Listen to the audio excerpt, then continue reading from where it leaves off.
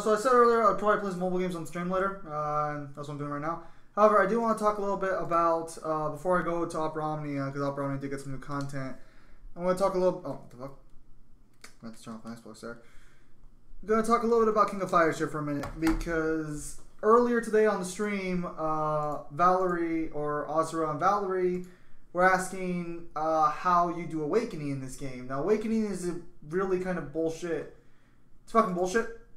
But uh, yeah, you know, I, I figure since I have the I have probably a couple fucking people I can awaken, I can just take care of it now and demonstrate how it works. So hopefully, I don't have to actually fucking do any pulls. But so the way it would work would be like this, and I'm talking about this from the perspective of like them watching us right now. So I'm taking care of this first. So first things first, you're gonna want to check and see if you have fighter memory. As you see right here, I have memory for several different characters. I'm trying to think if any of these characters are not awakened as of right now. I think Heidern's not awakened. Let's see if we can awaken him real fast. Oh, actually, what about the Fest characters? Geese have one. Okay. Yeah, no, all the Fest characters are awakened. Okay, so let's go down here and let's find. I think I saw. I think yeah, I saw you there. Can I fully max you out right now or no? I Can evolve you, but do I have enough to limit break the way? I do not. I'm missing a couple. Uh, I need a character who I fucking have the actual soul for. And then I can just let it break like that. Okay, wait, Heidern. Is Heidern already max? Heidern's level 90, so is he already awakened? He's not awakened. Alright, perfect. Uh, so as you can see here, we have a fully maxed out Heidern, level 90, all that good jazz. And we do have one of his souls. So you come down here, you, again, you have to have him maxed out at level 90. You have to have him fully maxed out. I don't know if the star. I don't know if you have to fucking have him. Uh, I don't know if you have to have his uh, star level fully maxed out. I think you do because I here. Let me uh, let me check um, back to her real quickly. Yeah. Okay. Yeah. So you do have to have you do have to have them six starred. No big deal. Uh, yeah. So you six star them, then you get the awakening thing. All right, and then you just go over here.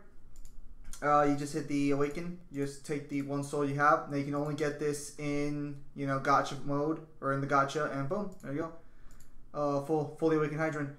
Uh, unfortunately, while you can use generic soul to level them up further beyond, uh, you still need one of their own souls. So Vanessa is my highest character right now. Uh, unfortunately, maxing the characters out is also kind of bullshit because you need specific fucking XP but this specific XP only works for the specific area. So as you can see right here, I have 20 and 3, and I have fucking 8 and 1, but it's not letting me use either of them, and it's only letting me fucking use what's in 20, or what's in the 2 spot, which is super fucking annoying. Uh, but yeah, no, so that's how the Awakening system works. Uh, we might come back to this game later on in the stream, or not, because I do have to still get done my challenges here to guarantee me a Fest character. Um, yeah, the Gintama event's finally coming to an end. I can't say I'm disappointed. Honestly, I, I did not find this event very, very enjoyable. It's just, uh, oh, cool, we got 80 gems. Neat. Well, clicked the wrong one. Like, maybe if I was a Gintama fan, I'd probably enjoy it better, but uh, as, as it stands, this was kind of just like a boring event. I don't even, I think I did maybe one multi, I don't even think I did a multi-pull this time around, actually. I think I just kind of fucking ignored it. Oh, cool. So that means we got uh we got like 35. This is a free fest character they gave for the event. So like while I don't like the event itself and I would have preferred like rather not having the event, it was pretty cool that they just gave us a straight free fest character. As you can see right there, uh, the character soul is on uh, is on the roulette banner. Uh, I don't think I pulled their soul at any point. No, wait, hang on. I'm in the wrong chat. There we go. I'll say, wait a minute, what the fuck did someone join? I just got, I just got like sort of waste my tickets right now because uh, even though I'm probably never gonna, well, I might use this character in the future uh, just because they are a fest character. You know, like by virtue of being a fest character, they're like better than like half my roster. Oh no, we pulled two. Oh, oh my goodness, that's one of the worst things about. Oh, okay, well finally. Alright, so how much do we fucking have? Okay, unfortunately, as much as I don't want to do this, uh, we do not have a copy of this guy's card at all.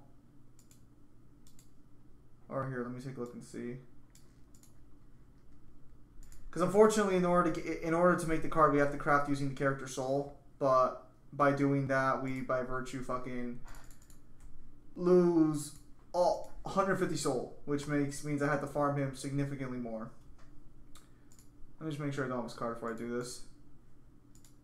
Yeah, I don't have a card. All right, because uh, I'm gonna forget about I'm gonna forget to do this later, so I'm just gonna take care of this right now before things get too crazy. Oh, that fucking hurts. Oh, that hurts. That's 150. Unfortunately, it's the character special ability, so like I have no real choice there. Alright, well, with that said, that's enough of uh,